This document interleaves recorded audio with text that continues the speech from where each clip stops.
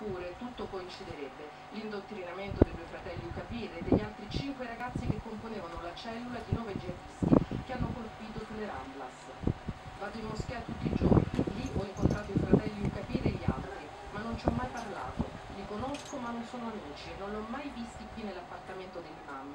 L'Islam non c'entra niente con loro. L'Islam non è questo. Nordina è preoccupato, parla ancora male lo spagnolo e lavora dall'alba in un mercato per riuscire a far venire qui la sua famiglia il prossimo anno.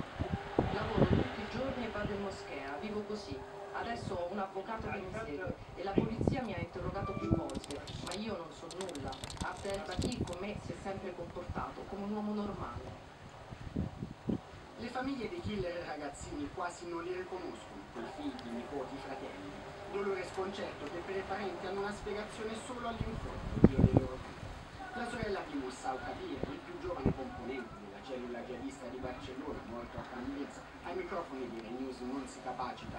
Un ragazzo di 17 anni, un bambino, non sa cosa va incontro non può voler uccidere qualcuno. Lo hanno drogato, lo hanno plagiato.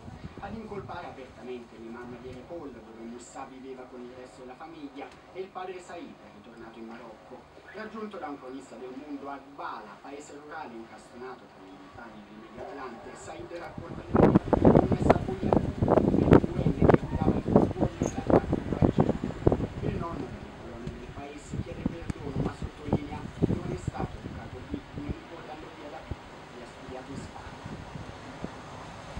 Dunque, un ampio giro quello che stiamo facendo con le ricostruzioni dal Marocco al Belgio alla Francia, però torniamo tutto è successo, cioè a Barcellona dove c'è Alessandro Gamberi. Alessandro,